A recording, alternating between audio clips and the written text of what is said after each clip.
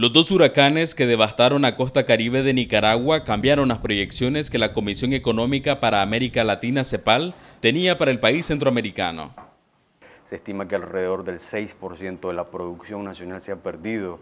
Eh, ¿En qué radica esto? Bueno, principalmente tomando en cuenta que el impacto de los dos huracanes fue en mayor medida sobre la matriz económica nacional que descansa sobre el sector agrícola, el economista Michael Marenco explica que Nicaragua podría ser uno de los países de Centroamérica con mayor contracción al cierre del año 2020.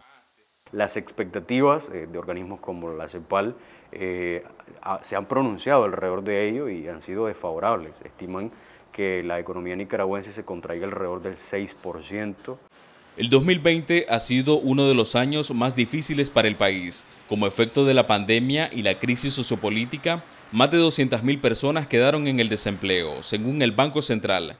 Sin embargo, el partido oficialista se muestra optimista para el año 2021. Los que amamos a este país somos la gran mayoría de los nicaragüenses. Los que queremos darle un futuro mejor a nuestros hijos y a nuestros nietos somos la mayoría de los nicaragüenses. Contra todo pronóstico, el gobierno del presidente Daniel Ortega estima que la contracción económica al cierre del año 2020 será solo de un 4,5%. Donaldo Hernández, Voz de América, Managua.